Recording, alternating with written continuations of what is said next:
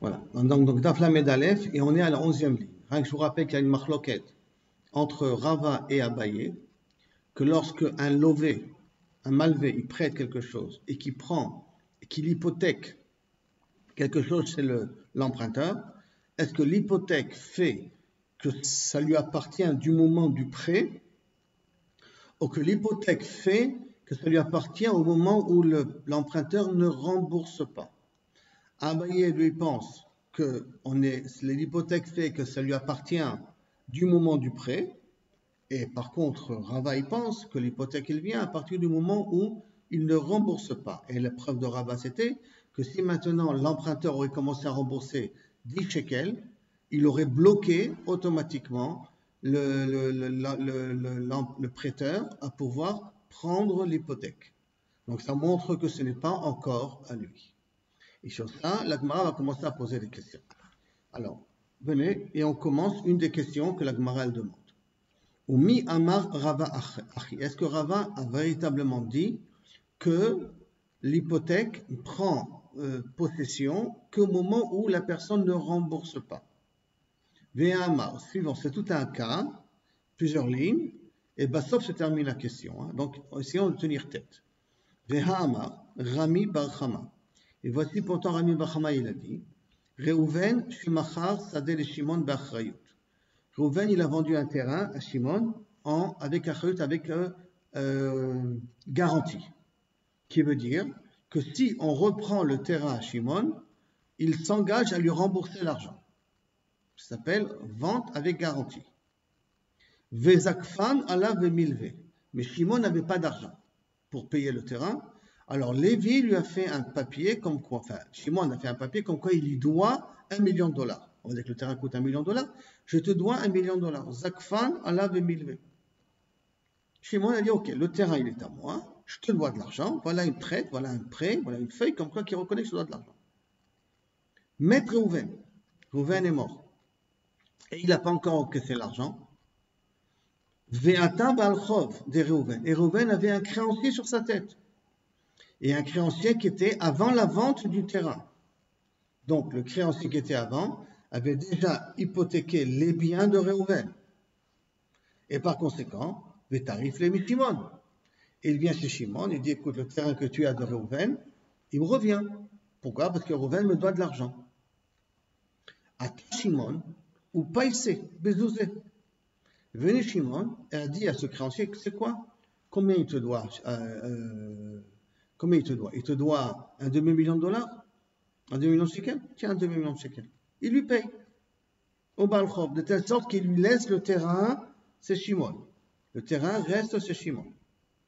Maintenant, dit la Rabban Bachama, dinahu, mi karadin, quel est le din? Atou, bene Reuven, viens les enfants de Reuven. Regardez jusqu'à combien il faudrait trouver cette, formule-là.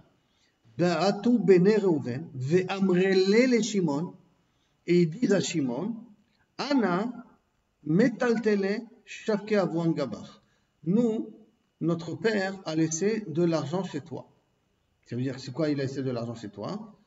C'est qu'en vérité, d'une certaine manière, quand tu as payé à ce Balchov, tu l'as payé avec des métaltélim, avec de l'argent. L'argent, c'est des métaltélim, d'accord? Et les métaltélim qui se trouvent chez les héritiers ne sont pas hypothéqués aux dettes du père. C'est-à-dire que, en fin de compte, le terrain, toi, quand tu es venu et que tu as payé le Balchov, tu as payé de l'argent pour rien. Pourquoi? Parce que cet argent-là est considéré comme métal télim, comme si c'était l'argent de notre père. Or, les métal télim qui se trouvent chez un yetomim, un Balchov ne peut pas se faire encaisser.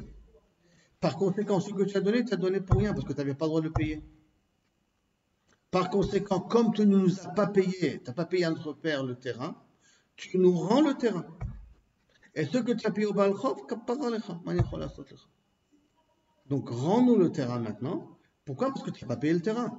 Tu manques que tu dis, mais oui, j'ai payé le terrain en payant au Balchov. Oui, mais ce que tu as payé au Balchov, tu as payé des métaltélim. Or, jamais le Balchov n'aurait pu nous prendre les métaltélim. Donc, en fin de compte, c'est comme si la, dette que tu avais à notre père, c'est des métaltines et qu'avec ça, tu as payé le chov. Ça, normalement, c'était Mishtabel. Et donc, par conséquent, Médina, hein, ils peuvent faire comme ça, les enfants, et reprendre le terrain. Mais c'est quand même. Euh, Amar Rava, c'est pour ça, sur ça, Rava a dit, vers Amar Rava, il piquait à Shimon. Si Shimon y réfléchit un petit peu, qu'est-ce qu'il fait? Makbe Lehu Ara. Il leur rend le terrain. Il dit Ok, j'ai pas de quoi payer le terrain, prenez le terrain. Prenez-le. Donc, Kaviachol, il perd. Vehada Gabele Minayu. Et après, il se refait encaisser deux. Il reprend le terrain chez lui. Pourquoi il reprend le terrain chez lui? Parce que rappelons-nous, qu'est-ce qu'il avait dit Reuven à Shimon? Je te vends le terrain Be'achrayut. Et comme il vend le terrain Be'achrayut, alors maintenant que vous m'avez repris le terrain, moi j'ai un gage dans le contrat que c'est Be'achrayut le terrain. Donc rendez-moi-le maintenant. Et il aura raison, il dit Rava. Donc, il rend le terrain au Yetomim, parce que les Yetomim vont essayer de l'avoir en lui disant Écoute, mon petit, tu as payé des métaltélines, les métaltélines ne sont pas mishtabidim au Balchov, donc il n'y avait aucune raison que tu les payes, c'est ton problème à toi. Il dit Ok, pas de problème, prenez le terrain. Et maintenant que vous sortez le shtar, qu'est-ce qui dans le shtar? Achrayut, rendez-moi le terrain. Ou rendez-moi l'argent, comme vous voulez. Hein. En tout cas, rendez-moi le terrain. Puisque c'est Be'achrayut. De Amar Rav Nachman, et d'où savons-nous qu'on peut faire ce coup-là? Car il a dit Rav Nachman, c'est Rava qui le dit, hein, c'est Rava.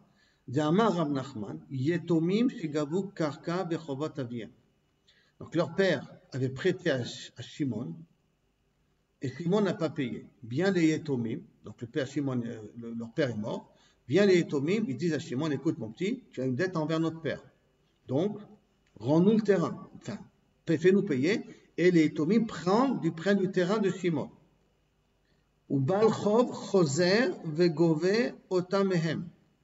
Et un Balchov, quelqu'un que leur père avait devait de l'argent, donc un Balchov du père des Yetomim, un créancier du père des Yetomim, le Balchov il peut venir et être gové Otamehem. Et il peut venir et encaisser le terrain des Yetomim. Donc indirectement, les Yetomim se sont fait encaisser la dette qu'ils devaient à leur père d'un terrain et le créancier qui avait à leur père vient, il leur prend le terrain. Et maintenant commence la question. C'est le cas. D'accord? Et n'oublions pas, d'après Rava, on a dit qu'une hypothèque prend possession qu'au moment où la personne ne rembourse pas. Ça Alors maintenant, la Gemara pose la question. I bishlama si tu viens et tu me dis qu'en fin de compte, l'hypothèque appartient rétroactivement au prêteur, Amtu, euh, c'est pour cela que le Balchov peut venir et se faire encaisser du carca. Parce que ce carca-là, qui Bassov s'avère appartenir au père, puisque les enfants venus sont venus, on, se sont fait rembourser la dette de leur père. Donc, je considère que le terrain appartenait à leur père, Milchatrila, du moment du prêt. Et le Balchov qui assure le père possède automatiquement ce terrain du moment du prêt. Donc, en fin de compte, c'est normal que le Balchov peut prendre le terrain. Parce qu'on considère que du début du prêt, déjà l'hypothèque appartenait au Balchov. Donc, tout la des Keman, des Gabou, Mechaim, parce que c'est considéré comme s'ils l'ont acquis, c'est comme s'ils l'ont obtenu du vivant de leur père, Damé. Et là, seulement, I, Amarta, Mikanu, là-bas, au Seulement si tu m'as dit non, la possession, elle vient du moment où la personne ne rembourse pas. Comment le Balchov peut prendre ce terrain-là? Le Balchov, comment il peut prendre le terrain des Tomim qui se sont fait rembourser de quelqu'un qui devait de l'argent à leur père? Pourquoi?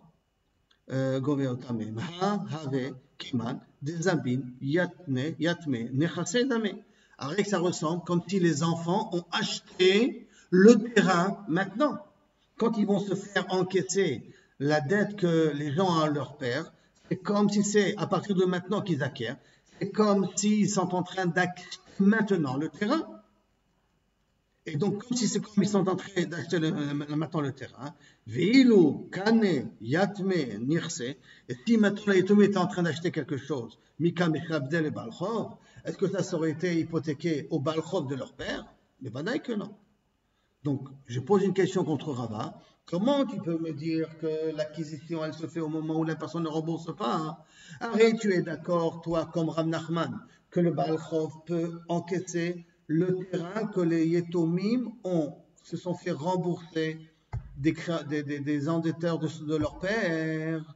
Après toi, c'est rien qu'au moment où la personne n'a pas payé que ça me revient à moi. Donc, les Yetomim, quand ils sont partis prendre le terrain, c'est comme s'ils achetaient le terrain. Maintenant, et un Yetom qui achète quelque chose, jamais un Balchov de leur père peut venir le réclamer, ce que les Yetomim ont acheté.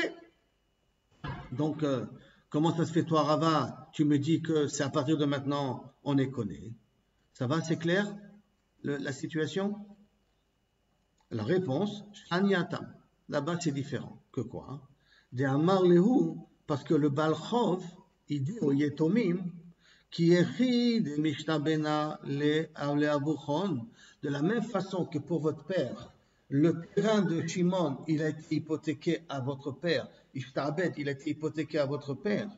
Mishtabena Nami le Balchov, il est aussi ce même terrain-là, il est Mishtabed le Balchov d'Abuchon, à la dette que votre père a envers moi la même façon que la dette que les gens avaient envers leur père. Le terrain là-bas, il a été hypothéqué à leur père, donc il avait, il avait une mainmise là-dessus. De la même façon, moi aussi, j'ai une mainmise sur ce terrain-là, que votre père me doit. Pourquoi hein? C'est basé sur la tvara de Rabbi Nathan.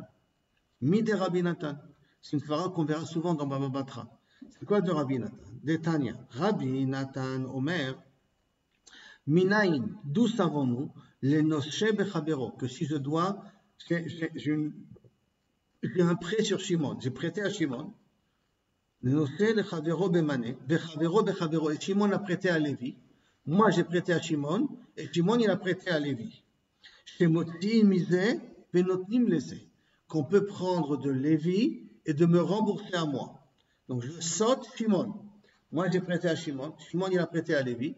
Donc Lévi il a hypothéqué les biens de Shimon et moi j'ai hypothéqué les biens de Shimon, donc automatiquement Lévi, lorsqu'il rembourse à Shimon, c'est l'inverse. Shimon a été hypothéqué les biens de Lévi, donc quand Lévi rembourse à Shimon, lui qui rembourse à Shimon, il me rembourse à moi directement. Bon, là-bas, la il dit, bah, taille, il faut qu'on soit nous trois ensemble et tout ça. L'homme, c'est un Kariga. Il y a encore d'autres petits détails à rajouter, mais il ne rentre pas dans ça ici à ce niveau-là. Pourquoi ne pas considérer donc la même façon? Moi, j'ai euh, euh, quelqu'un a une dette envers le père des Seitomim, le, père des il a une dette envers moi. Donc moi, je peux me faire encaisser, d'après Rabbi Nathan, directement, directement du balchov de, des endetteurs, des endettés de leur père. Et c'est sur ça que Rabbi, dit, il n'y a pas de kouchia. Pourquoi? Parce que moi, tout le, cas que tu m'as présenté, c'est un cas qui ressemble à Rabbi Nathan. Et Rabbi Nathan, donc Minaïn et Bechavero Mané, Bechavero Bechavero, Shimotzi Mizé Benotim Lazé, comprend de Lévi qu'on me donne à moi en sautant Simon, ça veut dire que je peux avoir affaire directement avec Lévi. Je vais voir Lévi, je dis écoute, tu dois de l'argent à Shimon, toi, Shimon me doit de l'argent, alors paie-moi à moi. Je peux le faire. D'où on apprend ça? D'où on apprend ça? Talmud Omar, Venatan la Asher Ashamlo et tu paieras à celui qui kaviachol, kaviachol, tu, tu es Hacham, tu lui il n'y a pas marqué Hacham il va où, que tu lui as prêté, mais que tu es Hacham, que tu es responsable, que tu as une, une, tu as une part de responsabilité, pas une part de responsabilité, c'est un petit peu difficile, responsabilité, Hachem, tu es responsable, Hachem c'est la traduction responsable. Comme il n'y a pas marqué le Hacher il va où, à celui qui t'a prêté, et a marqué le Hacher Hacham l'homme, de là, Rabbi Nathan, il a dit qu'on peut faire la loi de la transitivité et toi te faire rembourser directement de Lévi. Et c'est le cas des Yetomim qu'on parle ici. Et donc, il n'y a pas de Kushia contre Rava. Nan. La Mishnah, elle dit Nochrish il va où est Israël. Maintenant, on revient à notre Mishnah, nous. Hein. Nochrish il va où est Israël, un goy qui a prêté à un juif. Et donc, il a prêté un juif, al il a hypothéqué le chametz du juif. Comme notre Mishnah, Après Pessah, tu as le droit d'en profiter. Pourquoi? Parce que je considère a priori le Hametz comme déjà appartenant au, Goy. Et là, il faut voir comme qui ça va, comme Abaye ou comme Rava. I Amarta, donc il pose la question. I Amarta Bishlama le Mafria, si tu penses comme Abaye, qu'en fin de compte, le, prêteur a acquis les biens depuis le moment du prêt, alors Rugove, Antole Moutar, c'est pour ça qu'on a dit que Moutar Berna, parce que le Khametz, il appartient au Goy. Comme il appartient au Goy, j'ai pas de problème.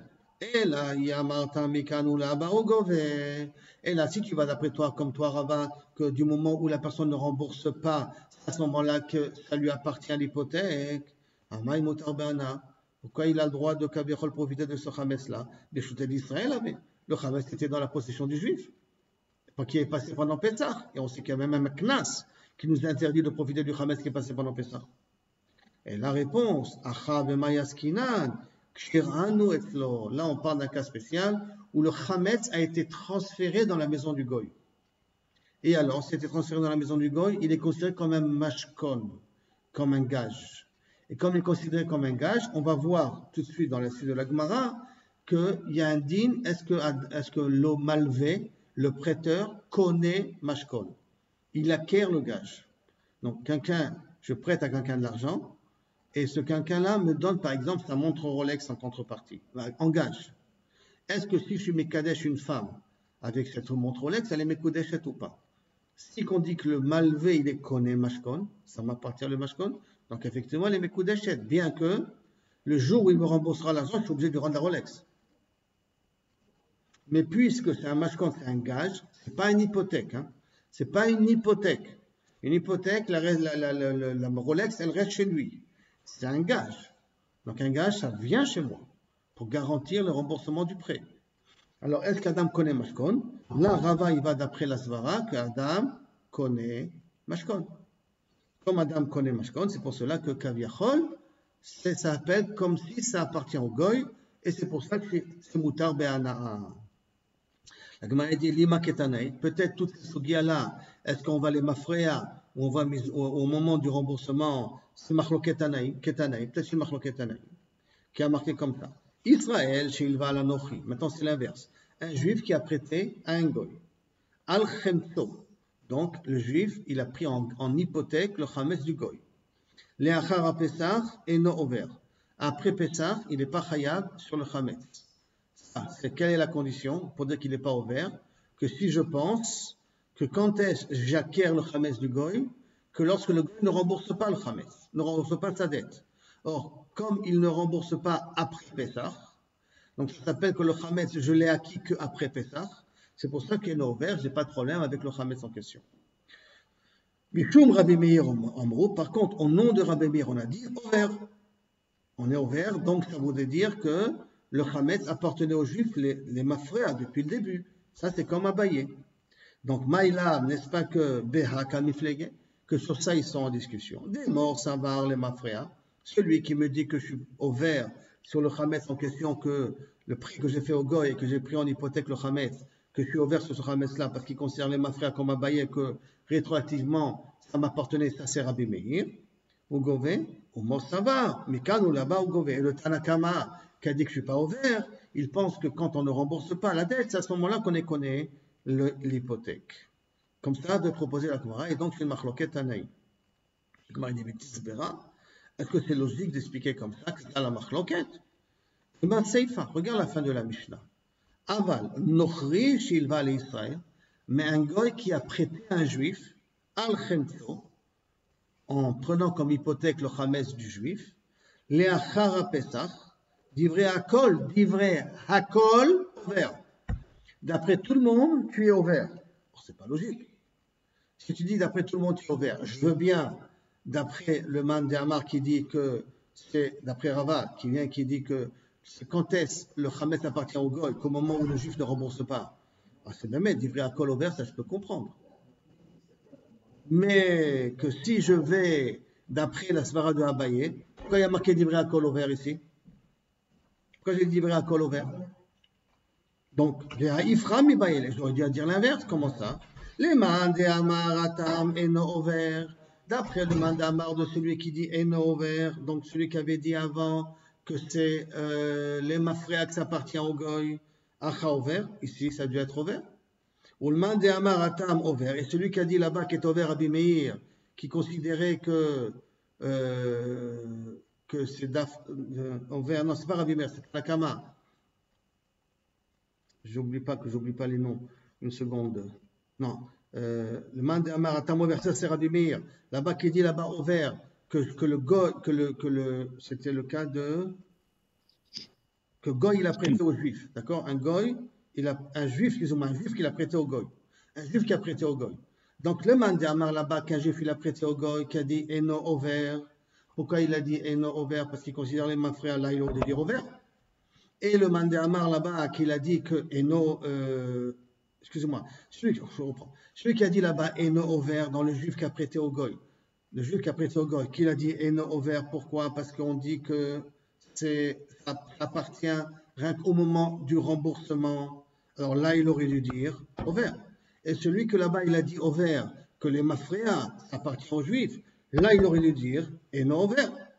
Pourquoi? Parce que ça appartient aux goy, les mafréas. Comment tu m'as dit d'ivrer à col au vert? Quand tu m'as dit d'ivrer à col au vert, et là, de quoi on parle? Et là, qui et là, là, on parle que le Hametz, en vérité, il est passé dans la possession du Malvé. Dans les deux cas, hein, dans la Recha et dans la Sefa. Je reprends, dans la Recha, on parle que qui a prêté au Goy, dans la Sefa, on parle que c'est le Goy qui a prêté aux Juifs. Et dans les deux cas, on parle que le Hametz se trouve dans la possession, le Malvé. Et si le Hametz se trouve sur le Malvé, ça passe d'une hypothèque à un gage. Donc, Irano Etzlo, c'est le Malvé, et la marloquette, est sur les paroles de Rabbi Yitzhak. Que comment? Rabbi D'où savons-nous que quelqu'un qui prête de l'argent et qui prend un gage, le gage appartient au prêteur. Et pour toi, ça sera une tzedaka. De quoi ça parle? Un juif, quelqu'un qui a prêté à un pauvre et qui n'avait rien de quoi lui donner en tant que gage et qui lui a donné sa veste ou son drap ou sa couverture. Alors il y a marqué la nuit, tu lui rendras sa couverture, parce qu'il n'a que ça pour se couvrir la nuit. Et le lendemain matin, tu reprendras ton gage.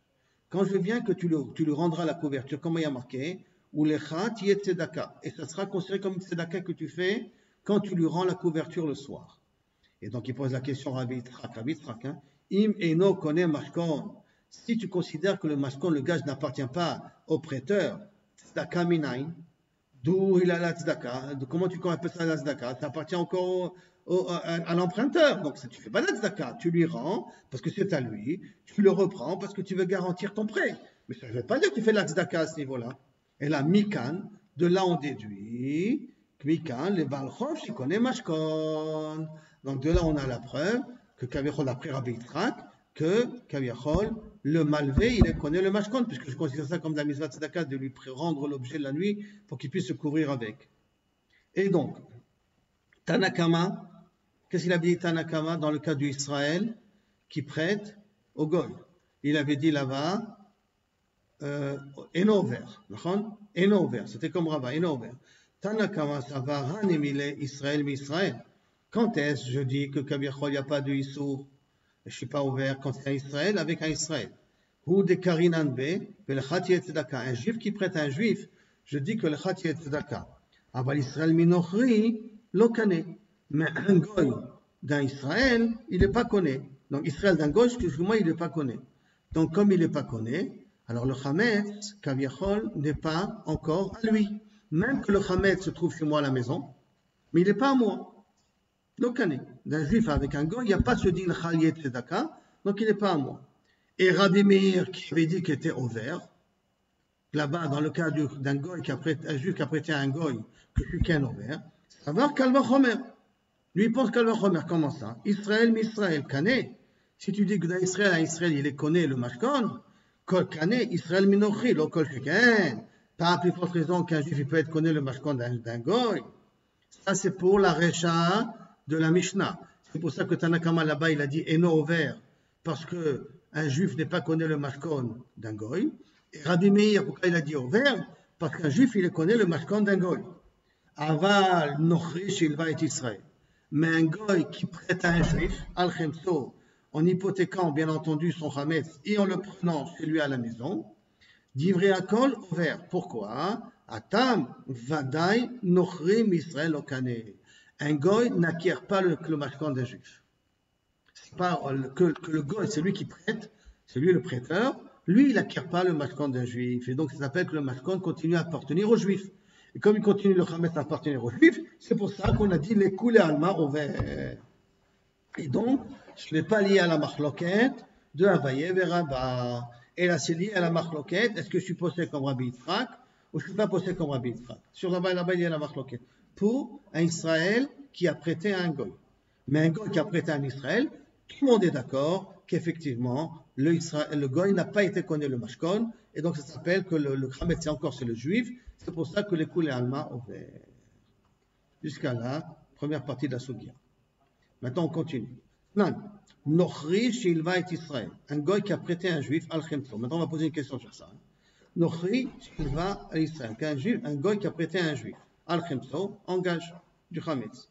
Achara Pesach, Mutar Après Pesach, tu peux profiter de ça. Donc, un goy qui a prêté un juif. Je précise bien. Un goy qui a prêté un juif. Là, on vient de dire là maintenant que Kaviachol, si on parle que le Hametz se trouve chez le goy, le, le, goy n'a pas été connu le mashkon. Comme ça, on a dit là maintenant. Hein. Donc, Nochri, Shilva, Israël, Al-Khemso, Achara Pesach, on a le droit d'en profiter. Hein Comment on a le droit d'en profiter? Arrêt, normalement, tu considères que ça appartient encore aux juifs. Alors, Nehi, Nami, Dir, et bien que tu, tu m'as expliqué que Kabiachol le Hametz a été transféré dans la maison du Goy en tant que gage. Et pourtant, tu m'as dit, toi, auparavant, d'après tout le monde, qu'un goy n'acquiert pas le mashkon d'un juif. Et si le goy n'acquiert pas le mashkon d'un juif, alors pourquoi tu dis qu'on a le droit de profiter de ce chametz-là après ça Lokane, lokashia. Non, non, il faut, c'est vrai, mais il faut faire une petite distinction. Ha de amar le ha de lo amar le Ça dépend qu'est-ce qu'il a dit en donnant le mashkon qui lui a dit que le mashkon t'est acquis dès maintenant, ou il n'a pas dit cette phrase-là, le mashkon t'est acquis dès maintenant. Et bien entendu, tu me dis, tu me dis, tu fais une différence, mais qui a dit qu'elle est vraie cette différence-là? Ou menatimra de Chanel, et d'où tu sais qu'il y a une différence? Benechad amar me'arshav ou benechad de amar me'arshav. D'où tu sais qu'il y a une condition à faire une différence, est-ce qu'il a dit dès maintenant ou pas dès maintenant? Détania, voilà une braïta. Nochri in pat fourni fournir, euh, c'est la même racine qu'en français, enfin le français c'est la même racine qu'en hébreu, hein, qui veut dire que quelqu'un qui a donné en gage un gros pain, bien fourni comme ça, bien fourni, un gros pain à garder. D'accord? Pas fourni et l'Israël. Et non ouvert. Il n'est pas ouvert, l'Israël n'est pas ouvert le Hametz pendant Pessah. Et donc ça parle ici qu'il lui a donné un gros pain en tant que gage, machma. Ve'im amarlo hagiacha, et s'il lui a dit, dès maintenant ça t'appartient, hagiacha, c'est arrivé vers toi. C'est chez toi, ça veut dire que dès maintenant ça t'appartient, ouvert. Le juif, il est ouvert sur le din de Chames de Pesach. Maïshena Recha, Maïshena Sefa. Pourquoi dans la Recha tu m'as dit qu'il n'est pas ouvert Et s'il a dit Hagiacha, c'est qu'un ouvert. Et là, là, Shmamina, n'est-ce pas que ça voudrait dire, de Shani, qu'il faut faire une différence. Echad et Amar le s'il lui a dit que c'est acquis le, le est acquis à toi dès maintenant, que dans un cas où il lui a pas dit dès maintenant. Donc, pour un juif, il connaît le mashkon, il est connaît ou pas connaît le mashkon d'après Rabbi Yitzhak, dès maintenant. Ça, il n'y a pas de problème. On n'a pas besoin de dire merchab. D'un goy par rapport à un juif, alors là, ça va dépendre de ce qu'il a dit dès maintenant ou il n'a pas dit dès maintenant? Et donc, ce n'est pas une kouchia sur le fait qu'un goy n'est pas connu mashkon. Un goy n'est pas connu mashkon, mais à condition qu'il a dit dès maintenant ou pas il n'a pas dit dès maintenant. Bien que l'exemple en question qu'on ramène, oui, c'est d'un goy qui doit de l'argent à un juif. Hein. C'est d'un goy qui doit de l'argent à un juif, parce que c'est le goy qui a donné le de fourni. Il a donné du de fourni, il a donné au ce juif-là. Et quand même, on voit qu'il faut faire une différence entre Me'arshav ou pas Me'arshav. Tanoura Banan. Maintenant, on ramène une braïta. Chanout chez l'Israël, Umlai chez l'Israël. Le magasin, il appartient à un juif et la marchandise appartient à un juif. Ou pour Alim mais les vendeurs qui rentrent et qui sortent, c'est des goïms. Les Nechnatim, les Sham, Chametz, Nimsa, Sham, Marka, Pesach. du Hametz qui se trouve là-bas après Pessah, à Be'ana, interdiction d'en profiter. Bien qu'il y a des goïms qui rentrent avec leur Hametz aussi. Et là, on part du principe que c'est du Hametz du juif. Et comme, puisque c'est le magasin du juif, et c'est la marchandise du juif, donc si on trouve après du Hametz, on considère que ça appartient aux Juifs. Ben il y a plus forte raison qu'un Soberna, même façon de le manger. Par contre, Hanout El Nochri, le, magasin qui appartient à un Goy. Mlaï El Nochri, et en même temps, le contenu le marchandise appartient au Goy. Quand il dit Nimkar Betocha, du vin et de l'huile qu'on vend là-bas. Ou pour aller Israël, et des Juifs qui travaillent. Nirnassim Beyotzim, les Sham, Chametz, Nimsam Sham, Pesach, Mutar Be'achila. Le chametz qui se trouvera là-bas après Pessah, tu as le droit d'en consommer parce que tu considères que ça appartient au goy, au propriétaire, et à celui qui appartient à la marchandise. Ben, ça y il y a plus forte raison que tu as le droit de profiter. Jusqu'à là, la Sugia. Maintenant, on voit une nouvelle Mishnah, Baruch Hashem. Matniti, Chametz Nafla la Mapolet. S'il y a du Chametz, il y a eu un décombre, une maison qui s'est effondrée, et dans cette maison, il y a du Chametz. Considère ce Chametz-là comme brûlé, comme disparu. Ça veut dire que tu n'as pas besoin de faire bio Chametz là-dessus, rien du tout. Et Rabban Shimon ben Gamiel Omer, Kol She'en Hakelev Yachor Lechapes Acharat, la condition que tu n'as pas besoin de faire bio Chametz, la condition que le chien ne peut pas le déterrer. Si le chien ne peut pas le déterrer, alors Inachenami, tu considères que tu n'es pas obligé de faire bio Chametz là-dessus. Amar Afrizda. Quand même, ce Hametz qui se trouve sous les décombres, il y a une condition, tu dois faire quand même bitou avant. Vetana, Kama et celui qui dit qu'il faut que le chien ne peut pas s'y arriver, combien il faut que ça soit enfoui, combien de profondeur il faut que ça soit caché le Hametz, Shosha Tefachim, trois. Il dit, ah, c'est ça, quand je veux cacher quelque chose, il faut trois Tefachim. Amar le Rav Yosef, Ravacha, le fils de Rabbi Yosef, il a demandé, les Ravashi, Hade Amar ce qu'on a dit Shmuel dans une chot mamonot, que si je veux garder de l'argent, la seule manière de pouvoir garder de l'argent, c'est le cacher sous terre. Dans Shmuel, Ksafim, Elem Shibira ila Bakarka. Tu veux garder de l'argent qui n'est pas le tien, tu ne dois que creuser par terre et le cacher sous terre.